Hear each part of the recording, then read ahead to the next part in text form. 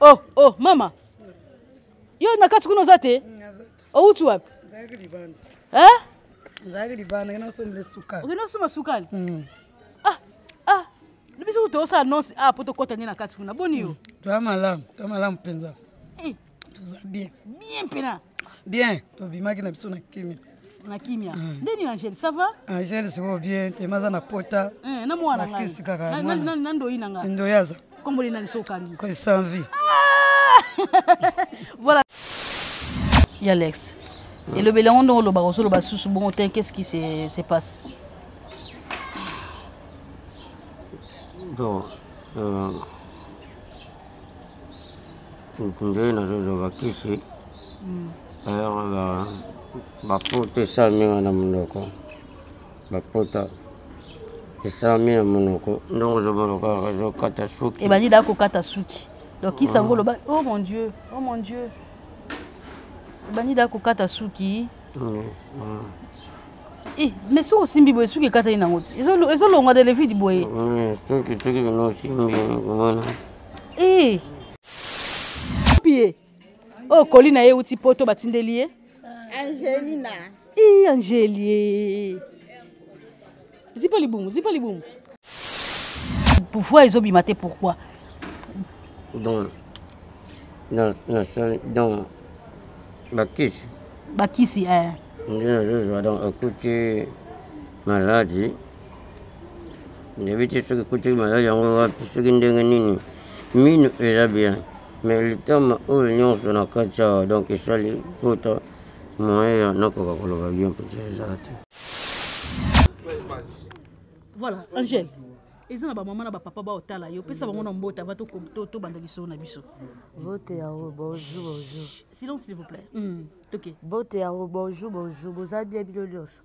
baza bien bape naza bien nzambe na ngolu ya ya nzambe ya nzambe angele okomi kitoko boye i ndako kaka tya maboko boye i angele talanga nano i angele okomi kitoko boye yaya i kobota ebongisi yo ekomi so pouvoir ezobima te pourquoi donc donc bakisi bakisi eh. nde nazozwa donc ekuti maladi ndebi te soki ekuti maladi yango wapi soki ndenge nini mino eza bien mais litama oyo nyonso na kati awa donc esali poto moyen ya nakoka koloba bien mpo te ezala te mama daila to na pona kokende na biso mbangu tokosenga ofungolela biso namona ko na sukali na motu okoma oteka sukali totia yango na balabala yaka yaka yaka yaka tomonaki yo na sukali eh, toomeka kotia yango na balabala na bulukutu te tomeka te loba na oteka totiaka bulukutu libanda eh, azalaki na zembi eh, sikoyo yango tovitika totia na sukali donc booteka bulukutu na sukali sikoyo ozolia ndenge nini olia te uh -uh. ah omoi mai kokitisa omoi leka ye ekokoleka ye hmm. me kotya eloko na monoko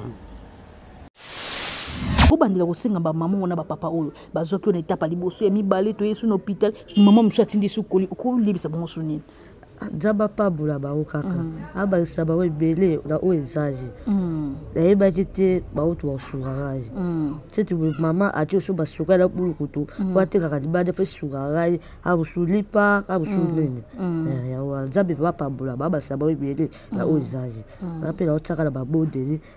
nzambe asunga kaka sikoyo mai wana bawatisa yango eleki tellement makasi eza mpo na lokolo sikoyo evolution lokolo yango ndenge nini sala okotombola yango nano arrêt ntango bozalaki na hôpital ntango bobimi boye kokuta bayibi bino mbongo sérieux ah. eza mama solo ya mama solo deja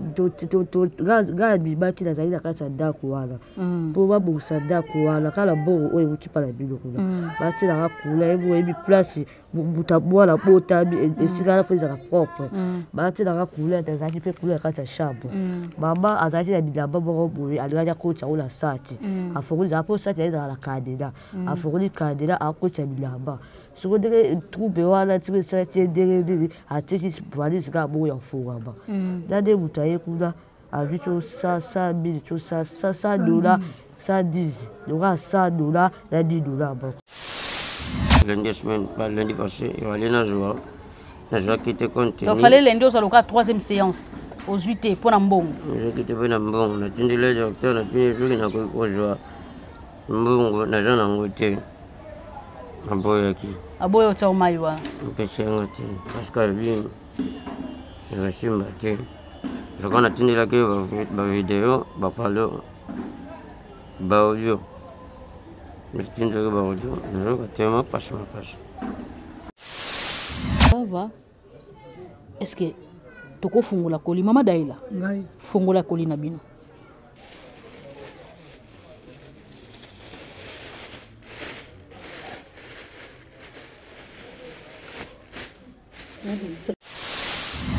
lokola elembongo makomi na suka atikali kaka na deux séance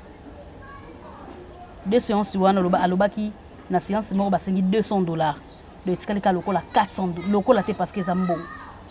etikali 400 dollars so eza na mama moko aza wana ayoki mpasi ya omona ndeko abandaki traitement kata yango kaka boye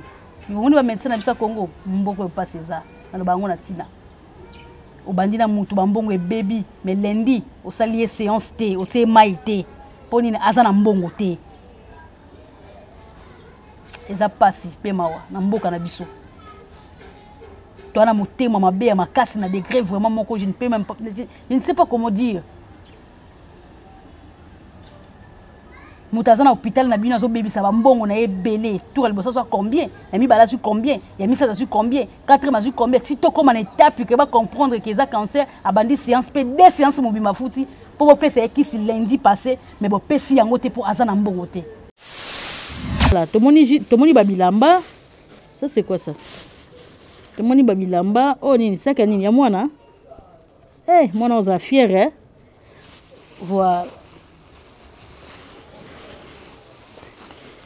saka kuna oyo oh, nini oyo oh, nde ya nani oyo hmm, kitoko hein?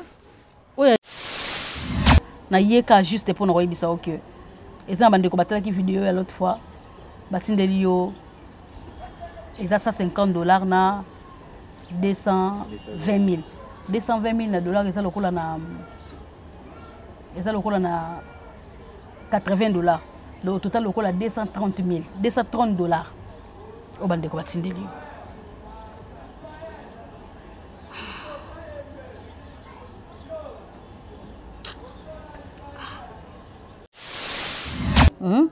na 60 dollars wana nga nalingi napesa yo 20 dollars bato bavandi bamela ata ji eh? mpo na, mpo na ndoi na nga 20 dollars na nga yango mama bomela ji eh? voilà frère alex mbongo batindeli yango donc awa eza lokola 200 dollars na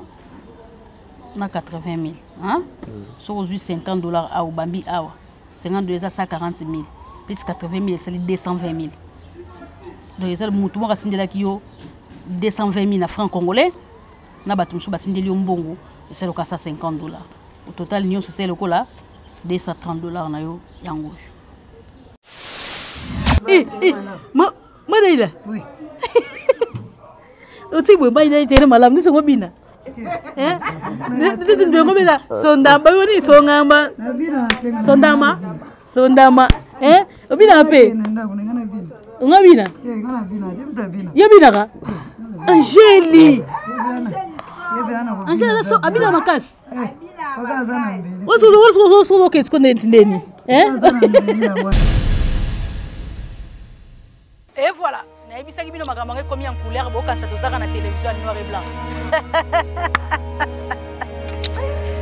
mboko mpasi ezali là où il y a du sorie c'est là où que vous allez me trouver naza awa nana patron na aigle télévision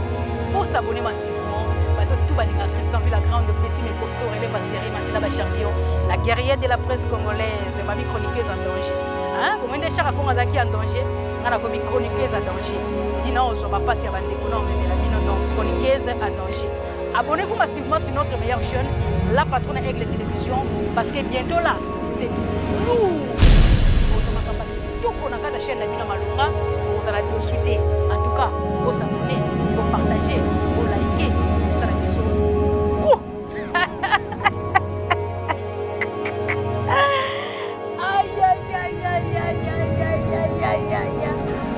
patron na aigle télévision ya mama dorcas aigle jaune en tout cas bato tokolinga biso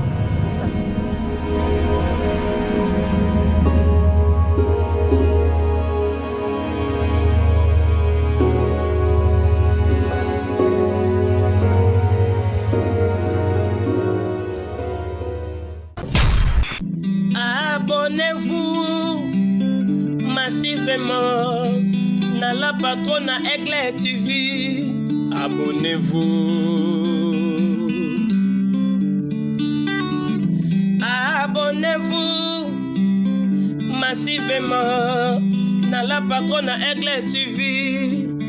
Chez Maman Dorcas. Voilà, réel plaisir pour moi, mesdames et messieurs, de savoir que vous êtes tellement nombreux, d'entre de suivre cette émission Kebana Caméra, une émission qui reçoit des artistes et comédiens, des musiciens, des peintres, des sportifs, des chroniqueurs, présentés par votre simple servante Christian Villagrande, autrement appelé petit mais costaud relève assuré makila ba champion la guerrier de la presse congolaise na journée ya lelo euh, toye comme d'habitude hein, na mwa temps na mwa vent oyo tokotisa ba émission mosusu ya sos veut dire osunga bato et vous allez remarquer que euh, soki bato batalaka bavideo na biso bacomprendre déjà couloir oyo nini tozali eza couloir ya ba angele angele oyo abotaki euh, angele oyo abotaki nazwaki ndoyi eh? est ce que eza bato baotalanga baa bandoyi mboko mpasi eza voilà te otika koli ya ya mama moko à partir ya londres londres londres londres attendez comprenez mesdames et messieurs makambo eza tellement ebele euh, des fois na obosana euh, mama suzanne Allemagne, voilà. Maman Suzanne Allemagne a pensé qu'il na, na Angèle Colina ye, to fongoli yango te parce que j'ai l'habitude ceux qui battent des loka mutu na fongola en pleine caméra comme ça et puis na pesi mutu eloko na ye ye moko akati yango atali eloko nini eza na kati donc ezala te ke bafongolaki yango oyo elomona kati ezalaki te tozoki elomona kati eh, ce n'est pas du tout sérieux donc c'est l'une des raisons tosalaka soki boti batindi eloko ya motu tokoya kofungola yango wana comprenez mama ata na biloko na ebele atindaka awa ya bilokos eh? ya bilokos donc abengaki ngai nakende nakende ozwa batie na sachet bokoloba ndenge nini bambala yango te non batie yango nde na sachet ya kotia eye boye place aza notala ayebi ke eloko nazwi yango na état oyo voilà mesdames et messieurs les amoureux de cette émission je vous dis merci pour vos likes vos abonnements vos commentaires vos partages et esala nga goût mboko pasi ezali voilà tokota topesa ye yango eloko na ye puis totala état, état de santé ya bébé totala mpe angèle parce que ça fait longtemps natala mpe ndoyi na ngai esala biso bien voilà je dis un grand merci à la personne qui est derrière la caméra il s'appelle blaise kate le mignon merci pour le travail bien fait merci à le responsable de cette chaîne, elle s'appelle Maman Dorcas, la patronne à Aigle. Manga côté la trop d'enzinzi, la force qui crase. Ma maman dorée, ma maman chou.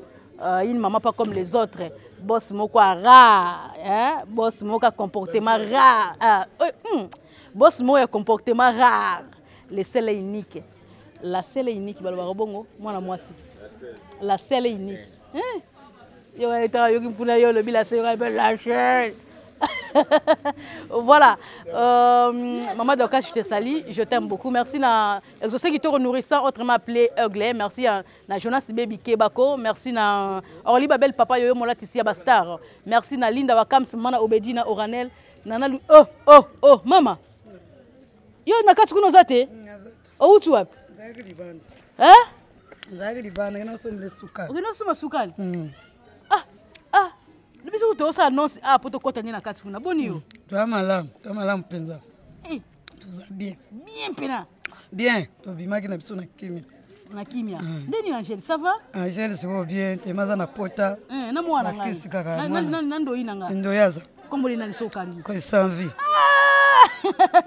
voilà tokende na biso directement tokende na biso voilà tokende na biso mbala moko euh, voilà jésus totosmene autrement appelé œuvre d'art makanisa choril lolo, lolo kitata loriane hein?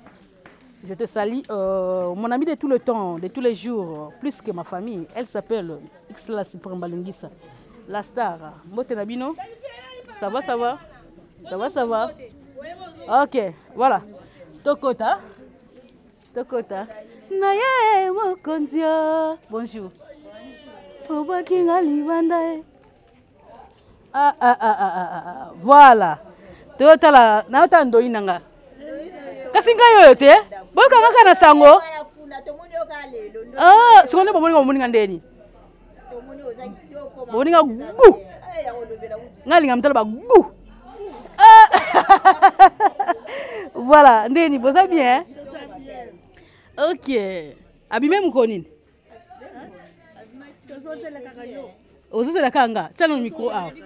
eh, eh, naozala kaka nga nasomba basikre awa nasomba basikre mwana ya solo ya solo mpenza tozolinga yo wana nini ndoi na yo lele abimaki namelaki takoka te kasi oh, ndoi abimi ngai yo na ye kasi ti eh, kasi nasepeli mingi likula oyeko nzambe azwa likumu na yo ya solo ya solo ko nzambe abatele yo oyo ezangi mpa na yo mm, amen mm. ondoi tozolela yo mpenza ngai mpenza nazolela yo nakobeba nakobeba nayoka esala émission eh. bayi bapokelanga poudre mpo na ndoi a eh, examen leta ye blesitaye mabodi monoko oza na yango mpenza mm. nzambe abatela yo etiaka eh, a natya mokela nini ndoyi na ye moko voilà e eh, batie na cameraman kuna totiaka ata na fond awa ah eh, oyo ezalaka signe ya victoire voilà hmm. donc mona ngo ndeni mona ngo aza kitoko eh? lokola atelaki na bu ah, zela nanu awa ah, namoni awa mama pusana na pusana na moke yaka na kitoko makasi mwana odo mwana wana alandi ka mobimba na yo moko na pembe na kitoko eh, na nzela lino kosanga boye te pardon oh, eh. nyonso nde mobimba na yo nde uta amonaki yo eh, eh, nayaki ngo namonaki ka bebe kaka soki obimba nde ozwa fase do mobimba na yo ngai ata namonaki ye kaka nayebi yo kute meta namoni yo do nalobi kake o oh, mpena mobimba na yo ya solo mpena Ah, nga kasaka soki mama nani oyo mama nani eh, mama nani nazwi soki madaila madaila yo mpe osepela zwa yo nasepelaki sema azwi mpe yo eza kaka bien soki nazalaki mwana mobali mbele banga basuspecte nga na lopango oyo eh? enga okoma hmm, azalaki mwasa nani mobala nani oyo te azalaki mobali na ye yo bongo e ah, ah, ah, wapi ye oyo oh, koli na ye euti poto batindeli ye angelina i angelie zipa libumu zipa libumu bokangela biso miziki moko ezobeta na kati boye kokanga biso eh, video oyo fo tovandela biso koto yaya bolonga boye mpo biso tovanda koto tosola na biso na angele bolonga boye angele yaka angele voilà mesdames et messieurs les amoureux de cette émission on est là ensemble avec angele hein? vous avez autant demandé suite ya angele ndenge nini est ce que angele abimi hôpital nasalaka oyo bino bosengaka voilà pesa ye lipapa na ye kotambola makolo ngulu te vanda vanda malembe voilà i angeli voilà vanda malembe lata lipapa na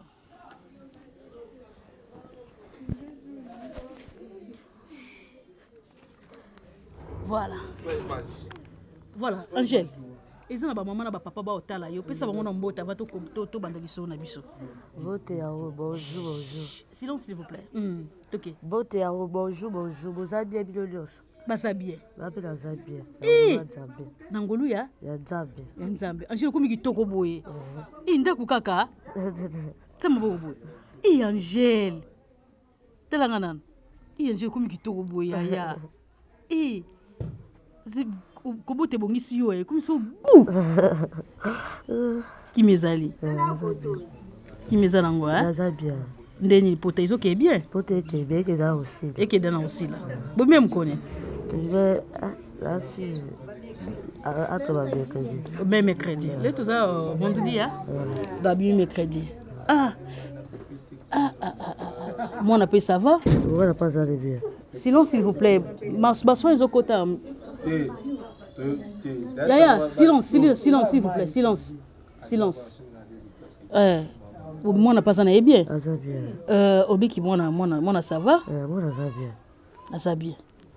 madaila yo vanda okimi deni te galonga na madaila vanda wa pusa na boye pusa na boye madaila vanda wa yela biso koli na biso tiango liboso awa tiela biso ngo awa voilà madaila ta koli batindeli bino euh, batindeli bino koli oyo ewuti euh, allemagne epai ya mama suzanne mama suzanne abengaki ngai nakende esika babiloko na ye batekaka na bilokos eh? nakende nakende ozwa babiloko oyo nayebi na ngai te na kati eza nini nayebi na ngai te bon tofungolonka ensemble na bino est ce que osepeli na koli nasepeli nango makasi merci mpenza makasi pa mm. ekolo euti mm. nzambe abakisa bino ebele mm. na baoyo nyonso tu bozo contribue mpo na mwana nga oyo bino nde bokoyeba nzambe kaka apambolaka bino ezalaka ebele bokontinaka kosala bo hmm, d'accord merci beaucoup mama daila tona mpona kokende na biso mbangu tokosenga ofungolela biso namonaka ona sukali na motu okoma oteka sukali totya yango na balabala yaka yaka yaka yaka tomonaki yo na sukali eh, toomeka kotya yango na balabala na bulukutu tomeka te loba na oteka totyaka bulukutu libanda eh, azalaki na zemi eh, sikoyo yango tovitika totya na na sukali donc boteka bulukutu na sukali est ce que eza na bato ya poto bayebi nkombo ya bulukutu wana bulukutu eza makasa mo boye batokiselaka yango euh, batya yango na ti donc mm. cetadi otie mai otie bulukutu wana etoki etoki etoki eh. ntango so otie miliki ata epamba kaka otie sukali mm. gu mm. mboko mpasi eza eza makasi mboko mpasi eza mboko mpasi me opema no bien mboka mpasi eza me ozopema no bien ah, topema bien na nguya nzambe kaka eh. nzambe kaka moto azolinga apesi lipamboli mpa bato bazosoutenir biso mhm. eh, na kanala nzambe mhm, babi mama batela koko na yo bien hmm? yeah. batela koko na yo bien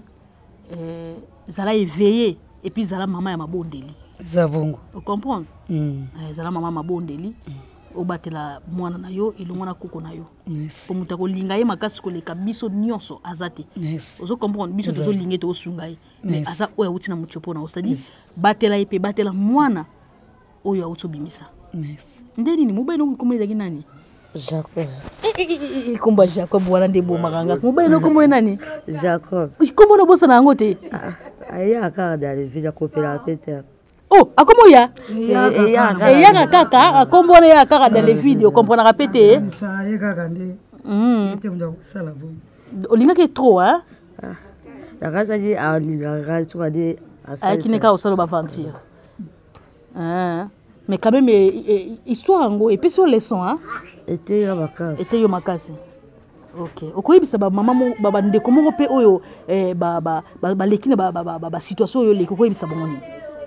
ah, namoni kodela koyebisa bango te oyo nga namoni aka kotodela na zambo na lapi nani na solo kosala yango su te so na raisonne basalaki ngai nde basali yo césarienne mm. okimba moko pasi na motema na yo ebonga ata basolo cesarienne moto yango mpe alingaki yo moto mpe atiaki yo zemi azoya boza na bolingo toujours mais sikoyo moto yango awanga na yo tola pasi ya bongo sikoyo pasi ya bongo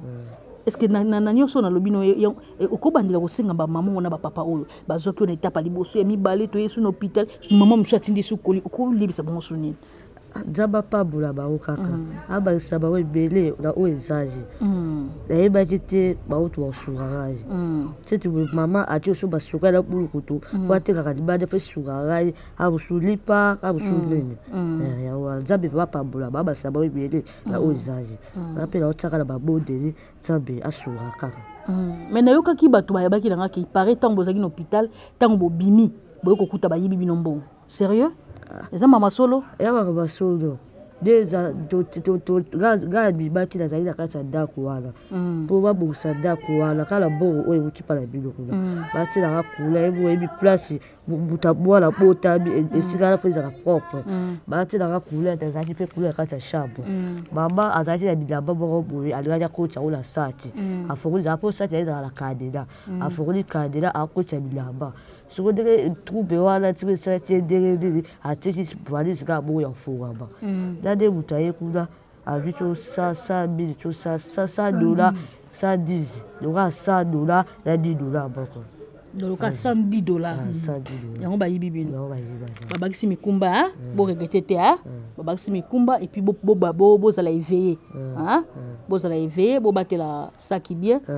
olingi obima libanda kanga ngo na kumba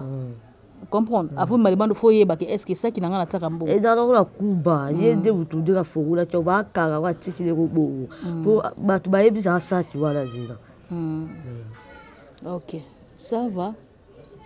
est-ce que tokofungola koli mama daila fongola koli na bino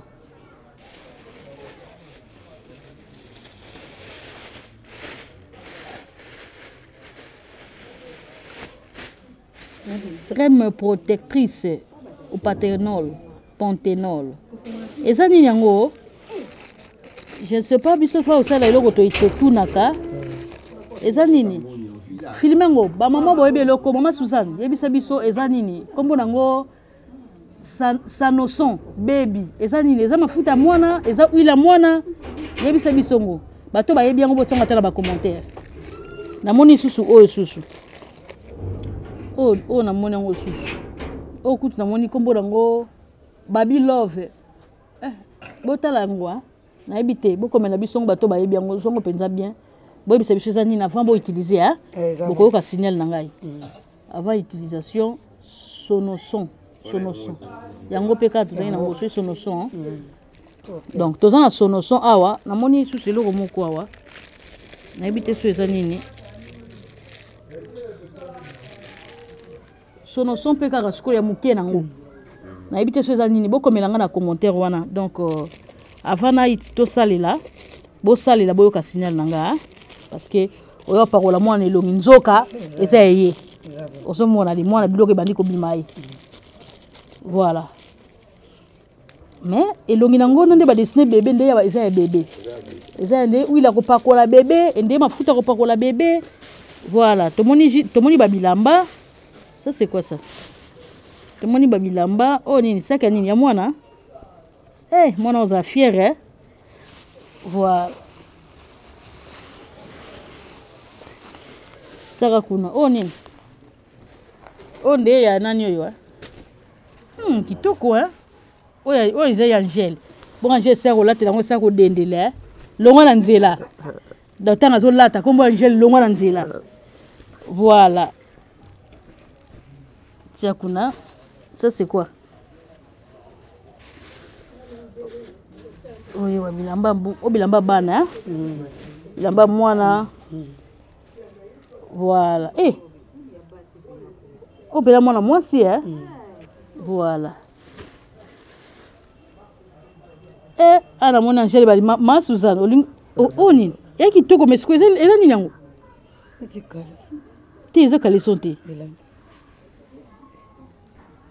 oyo eza ya mama nani oyo o oh, oh, kitoko e mpoka ya bino sozaki ya bino te nanga nazwa yango basengela mwana mpo na mopepe meme yo moko e mpo na mopepe oyo oh, nyonso etikali eza nango babilamba ça c'est quoi ah, oyo angele voilà oyo nini Voilà, Angèle.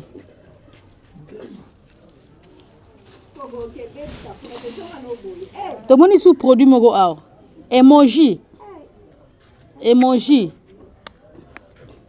eza nini mafuta to nini bokomela biso a bokomela biso bato boyebi yango tomoni su eloko moko isana intensisive body Will, wal, eh, mbogo pasi se. Bokomela biso eloko. Voilà. namoni bakisi macrongol macrongol biogarin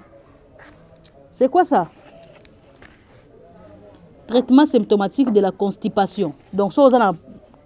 oyebi constipation ti mm. nalinga na baloba yango nini sozo kosumba te sozo kosumba te seli buma eza kokangama eh. okozwi oyo omeli yango omeli mais mama suzanne yelanga na privé s'il vous plaît euh. donc oyo etikali nyonso eza bilamba oyo etikali nyonso eza nango bilamba lo atieli mama atieli mpe mwana voilà simba boye mama nani kekotisa na ndako kekotisa yango nyonso na ndako a avant ya kolata yango osokoli yango a voilà allez tu peux dire quoi abonde lola oloba te nzambe apambola mama suzanapambola mama suzana ah, banzela ebele na oyo ezali sikoyo soki biloko wana eza mafuta soki bamwana bandi kopakola yango mwana akóma na couleur ya kitoko mpo ezomona deya mafuta kitoko sikoyo soki esili mama suzane seke obanda otindela mwana mpo eh. mwa kota na mafuta awa ah, mwana soki asa mesa deja na mafuta esili omona soki ochange kaka mwana ale ezo simba su mwana te donc seke mama suzanne soki vraiment biloko tosimbi oyebisi biso ke wana eza mafuta donc seke bono somba mafuta wana ti esika mwana kopusana eh, esi akochange mafuta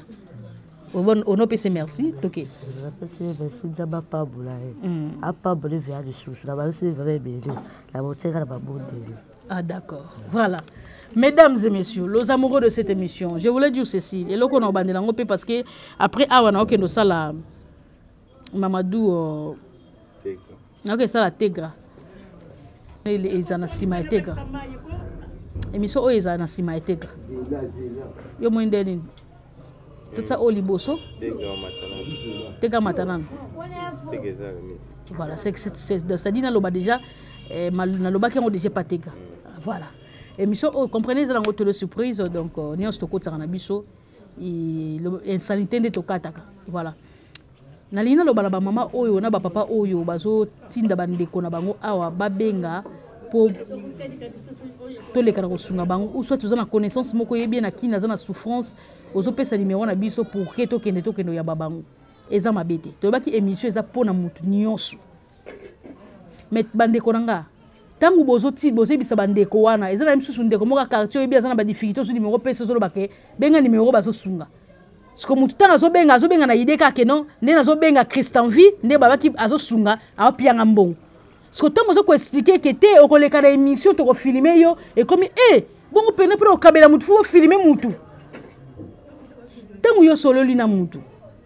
solo na ye claire basungaka me kosunga yango ezalaka boye baotya kamera motu ye moko asengi e, video bato batali basungi ye baye kotikela ye eh, mbongo mpo ntango yo olobi kaka ozwa nimero obenga bango basungaka bato donc moto atie dana kati ya motuna ye na obenga mpo nini na expose problème na ngai mpo aya kosunga ngai aya opesa ngai mbongo or ngai napiaka mbongo te ngai nayaka na kamera nayebisi motu yo moko senga motu soki asengi bamama ya poto bazalaka motive bazalaka na motema kokaba soki basungi yango nayaka nango bomeka mpe kosolaka na bango claire bino boza lokola avocat bombelaka motu likambo te akize akize abombelaka avocat na ye likambo te loba na mutu claire christian vie alekisaka mutu na émission na kati ya émission wana soki alekisi yo soki basungi yo mama lituka nzungu wana evandi bien te nzungu wana ekweya na kati ya émission akolekisa yo ntongo osenga lisungi bandeko bakosunga yo donc yango wana kaka nde nalingaki koloba eza na bandeko mosusu bazosenga depoule bozwa biso depoule depoule depoule biso ozwaka moto avec bit na kati émission witembaka na biso bato nyonso nde nalobaka émission oyo eyambaka moto nyonso artiste et comédien musicien parce que nayambi comédien mpo nayebi lisononso na comédien soki naye na kati ya sos nayambi motu parce que motu aza na badifficulté ntango bosenga toyamba depule sur base de quoi toyamba ye sikoyo mpo tosala nini mpo depule no toyoki na biso toyoki na biso esika teke depule azwi problème moko soki azwi likambo o oh, so ma petite sœur nakokende nakozwa ye image esprit nalekiseli bino siko nakeka nazwi depule to mpo tosolola nini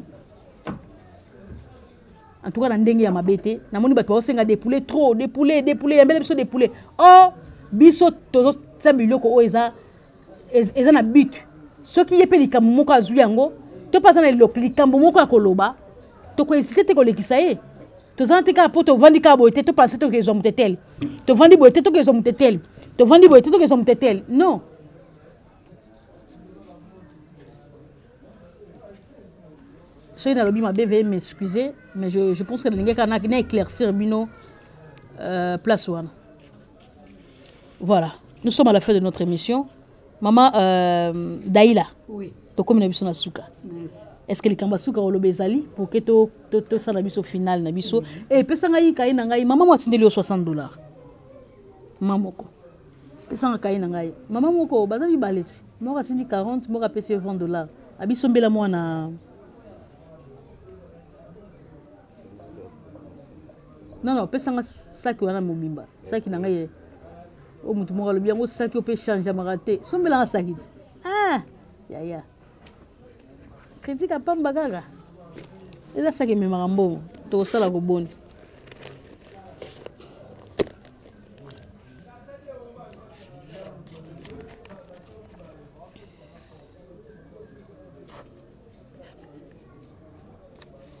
soixante dollar yanga ngo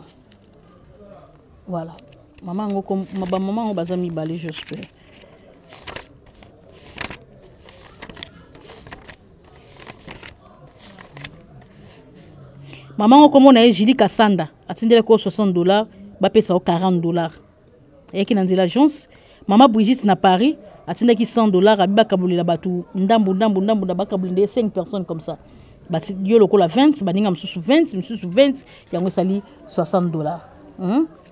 na 60 dollars wana nga nalingi napesa o 20 dollars bato bavandi bamela ata ji eh, mpo na li- mpo na ndoi na nga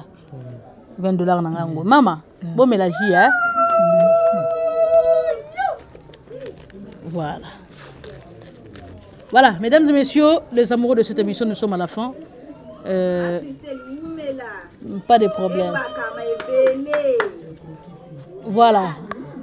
merci beaucoup euh, tokomi na biso na suka hmm. bakisa bango ebele hmm. oyo bayibaki lezonda wa lisusu hmm. merci beaucoup voilà merci beaucoup mesdames et messieurs tokomi na suka ndenge na misana koloba soki yesu masiya azongi te c'est que ngai na bino tokutana mbala ya nsima quant à moi je vous dis parce que après awa naokende epai ya alex hein? après awa naoki etala mpe alex parce que eza visite moko na profitaki na ya natala angèle natikela ye koli na ye epuis nakende mpe alex nakende otikela mpe alex quelque chose na ye oyo bandeko ya poto batindelaki ye eh, mpo na eh, traitement azolanda ya, ya cancer ya lokolo wana eh, voilà donc nazokende mpe kotala ye merci beaucoup soki esomasi azongi te ngai na bino tokutela mbala ya nsima peut-être eza na bato bakoloba bozobe makoli na maboko toza na voiture te euh, toza na voiture te amen toza na voiture te donc euh, bamoto mpo ekota lisusu ti baboye mwa bazelo omona oya kokwe yango de préférence otie yango kaka na nabengi kaka leki na nga atie na maboko tomemi na biso ngo voilà soki mpe moto azali abiki don te motuka yango eza kristna bilukaka mbonga douane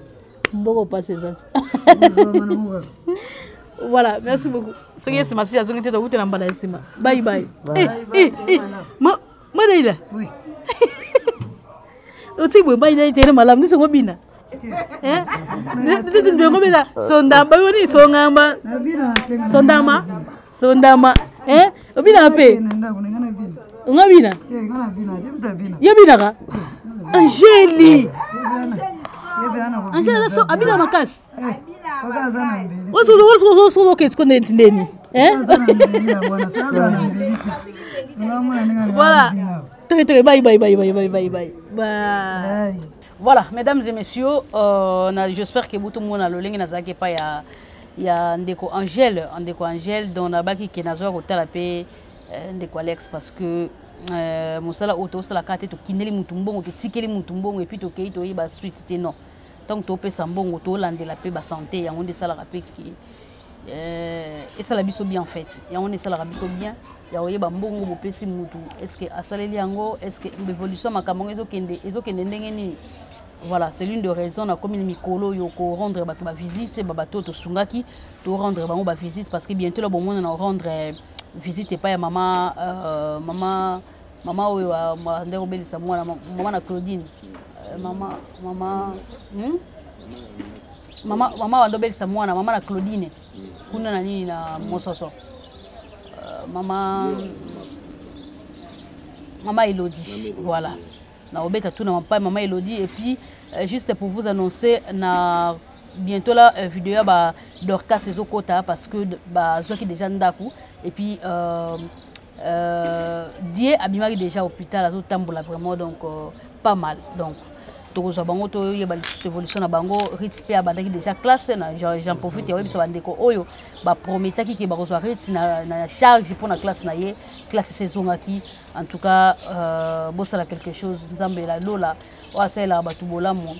azozanga te kosalela bino bolamu mesdames et messieurs lelo na pensaki natala angèle natikela ye quelque chose nde bandeko batindelaki epuis nakoli na ye ewutaki londres j'espère ke bomoni yango epuis naleka moke natala ndeko alex ndeko alex toyeba suite ya mai wana bazozongisa ya cancer wana mpona kolongola cancer na lokolo soki esuki ndenge nini nga tosolaki neme namonaki nayokaki ye mpenza bien te c'est comme ça aza bien te nabi te il faut namona ye de face comme ça bongo euh, nayeba eloko nini ezo déranger qu'est ce qu'il y a encore euh, donc c'est une des raisons naza ah, je dis un grand merci na na responsable ya chaîne oyo la patronne ya aigle télévision mama sociale la patronne ya aigle télévision manga kotela trop de nzinzi kaka ndenge ye moko alobaka mikolo babenga ye la force qui écrase merci mama doré mama chou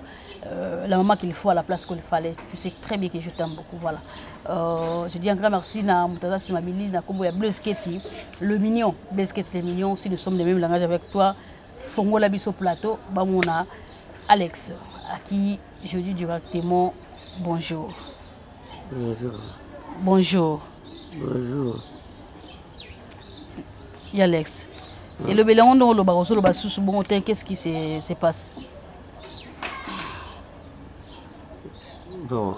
euh, nde nazozwa bakisi hmm. alors bapota esalami nga na monoko bapota esalami na monoko ndongo ozomona kaka ezokata suki ebandi da kokata suki donc kisi yango ah. oloba oh mon dieu oh mon dieu ebandi da kokata suki Eh, mais soki osimbi boye soki ekatani nango ti ezolongwa de levide boye soki soki bino osimbi komona eh. eza soki na eza makasi te ezolongwalongwa nango sikoyo pouvoir ezobima te pourquoi donc bakisi bakisi eh. nde nazozwa donc ekuti maladi ndebi te soki ekuti maladi yango wapi soki ndenge nini mino eza bien mais litama oyo nyonso na kati awa donc esali poto moyen ya nakoka koloba bien mpo te ezala te est ce que ozongaki epa docteur tolobi se mingi te mais totunaka bapoint essentiel kaka baquestion moko eza euh, important ntango osali yo boye bapota na monoko eza bapota na monoko hmm. est ce que okutani na médecin oyebisa eke tala mai bozotisanga mpo na cancer botala ndenge ezokani na koloba epuis bapota na monoko ozongi kuna bon nameraki kotindela evos na ndiyela ndeko moko tozalaka naye tokendaka na ye hmm, bon hmm. Voilà. Euh... Mmh. Non, alobi na ngai ke abena ngai ke belfe belfe ekozala makasi par rapport ya kisi oyo nazozwa eza makasi effectivement sikoyo ozolia ndenge nini olia te uh-uh. ah omoi mai ekokitisa omoi leka ye leka ye me kotya eloko na monoko c'est difficile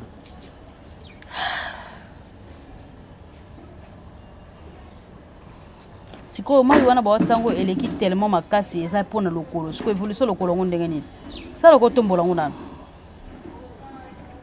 kofilima yango te oyebi bien pota bazokanga zoyeka na mosika ngai nazomona ti bazokanga biso bapota na youtube makasi bakangaki pota ya, ya trésor bakangaki mpe pota na yo na video ya liboso yango moni tozolinga mpenza kofilme yango lisusu te pesa biso ka évolution ya pota yango pota yango mai namoni mpe mai ezokwea te do mai eseke ekauki bon mai hmm. hmm. etanga hmm. mais donc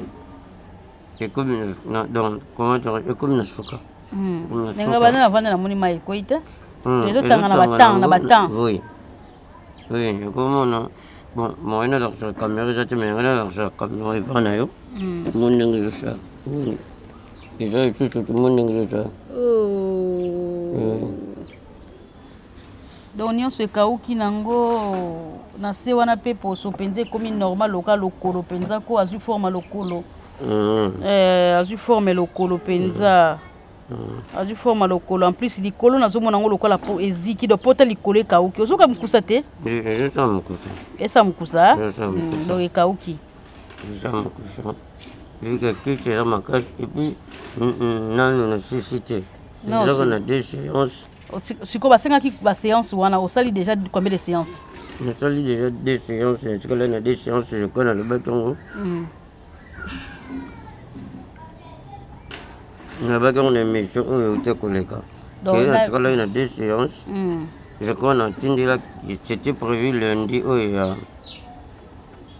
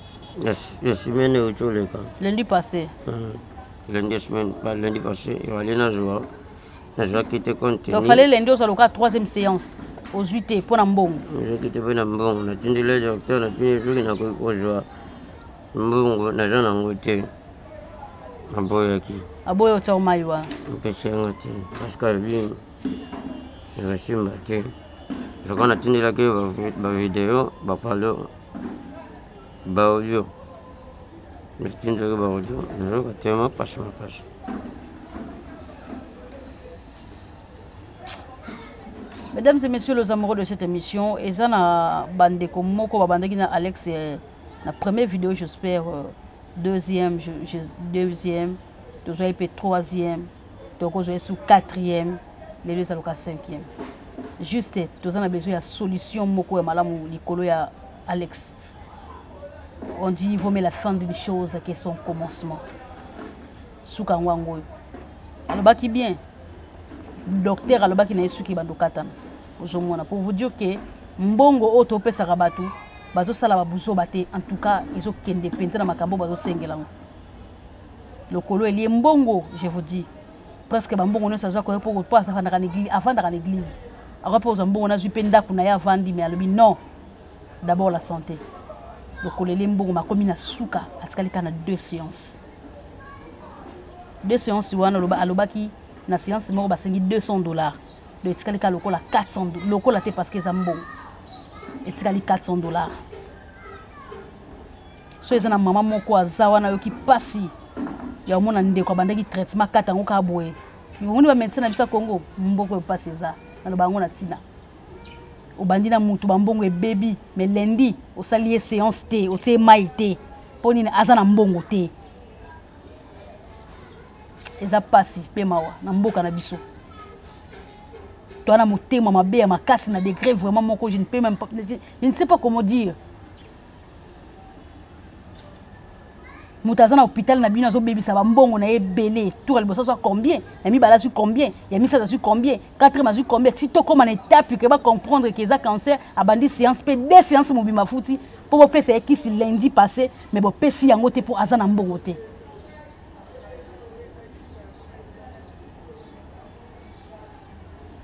bokopesa motu mpe mbongo bokangi na bino ye bokopesa motu mpe kwa kwa bokopesa motu mpe traitement bokangi na bino ye bokangi na bino ye afo bima awa ifo mbongo me bino mpe bolingi mpe na samedi donc journée wana bopesa mai wana botia ye mai ya cancer yango botie na eza nkombo nino babenga yango mutu bakomela yango ayaki pene mpa na ngai kokomela yango me botie ye te wana bozobebisa ye kire bozozongisela ekolo nsima to ndenge nini en tout cas mesdames et messieurs les amoureux de cette émission ba maman baza na motema mawa ba papa oyo bamoni bolingo bamona bandeko basouffre te ta moninga na bino mobali ozotala biso otali image ya, ya, ya lex omoni ke nga age na ngai kobel ekoza mpe age moko loka alex sunga ndeko na yo ne fiske 50 dollars na yo 100 dollars na yo même 200 dollars na yo olobi ke crise nalati na mbongo moko boye basala ye séance nzambe alola ozanga te kopambola yo nyonso bomona nango parce que lelo la nayeka juste mpo na koyebisa yo ke eza na bandeko batalaki video ya l'autre fois batindeli yo eza 150 dollars na 220000 220000 na dollars eza lokola na eza lokola na 80 dollars donc total lokola 230000 230 dollars oyo bandeko batindeli yo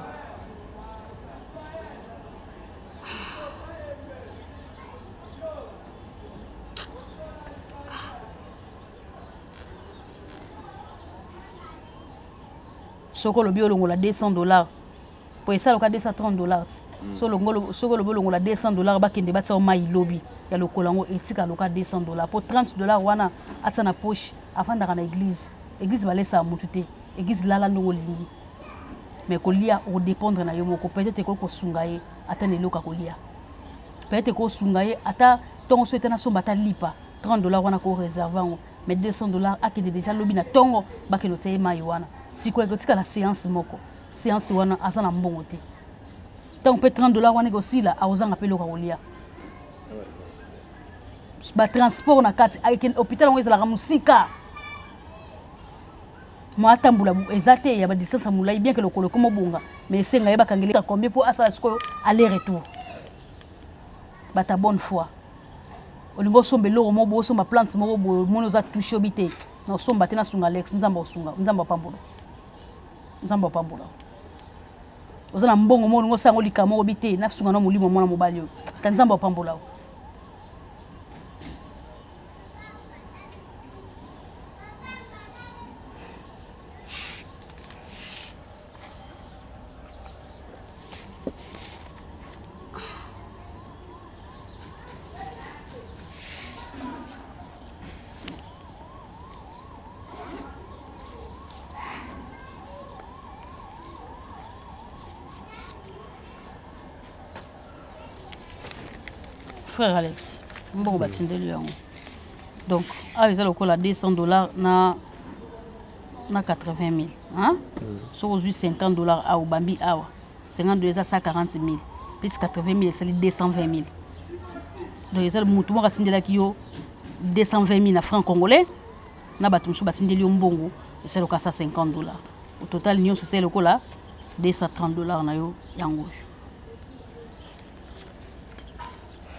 comprenez mesdames et messieurs azokoka mpenza koloba te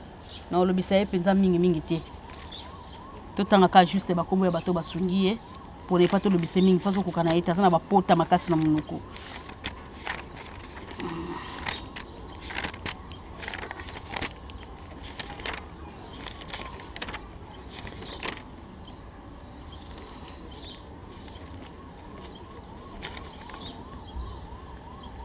ndeko alex hmm. mama moko mona ye mama elikia na france atindaki 100 dollar alobaki yo zwa 60 dollar le reste etikali bapesa mpe bandeko mosusu sere nanu na france atindelaki o 50 dollar mama matou na france atindaki 55 dollar abaki yo zwa 20 dollar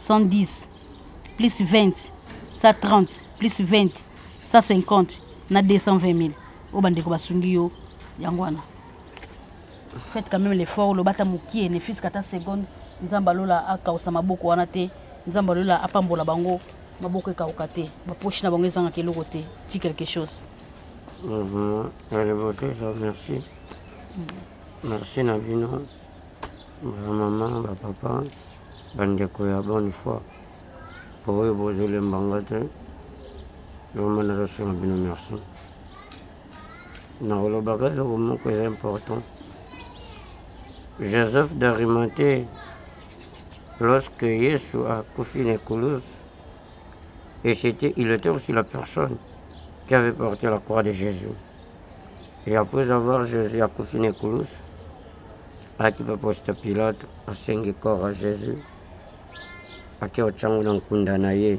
oyo bakunda nano moto te batyaka nano moto te mais aujourd'hui en israël soki okei okomona ke apart droit balongolaka na nkunda ya jésus mbongo ya nyonso ekendaka na famille joseph d'arimathie alors qu'est ce que je voulais dire parce que moto nyonso oyo andimaka kosala bolamu bolamu epolaka te mm. bolamu ezaka kozonga de génération en génération baprogene tour na bino bamona mpasi te mm. basofir te y compris en commençant par vous-même à cause de ce que vous êtes en train de faire bozo mm. abandonne te bolimba te so nakeleli na midi na pokwa bino bointervenir mpo na ngai mpo na ngai nayokango mpasi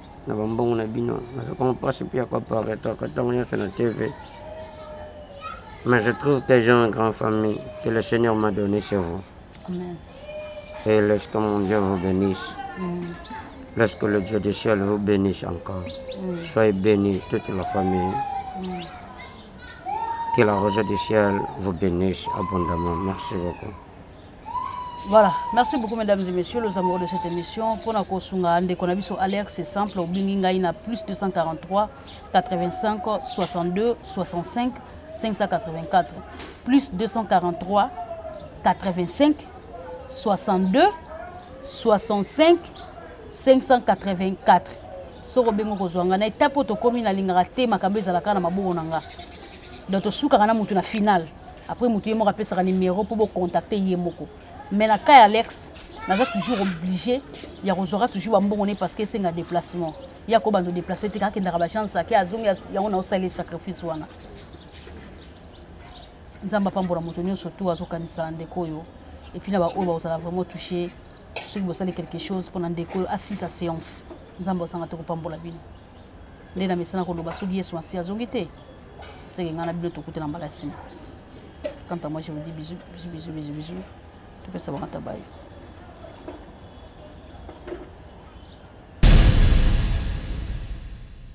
et voilà nayebisaki bino makambo yango ekomi en couleur bokanisa tozaka na télévision ya noir et blanc mboko pasi ezali lau ya disorie c'est là où que vous allez me trouver naza awa nala patron na aigle télévision pour s'abonner massivement bato tout balinga christian villa grande petit mais costo relève asiri makila bachampion la guerrier de la presse congolaise babi chroniqueuse en danger hein omoi nde chaka kongo azalaki en danger ngai nakomi chroniqueuse en danger dina ozwa bapasi ya bandeko na omemela bino donc chroniqueuse en danger Abonnez-vous massivement sur notre meilleure chaîne, la patronne Aigle Télévision, parce que bientôt là, c'est nous. tokona kaka chaîne na bino malonga kozala dosu te en tout cas bosabone bopartage bolaike bosala biso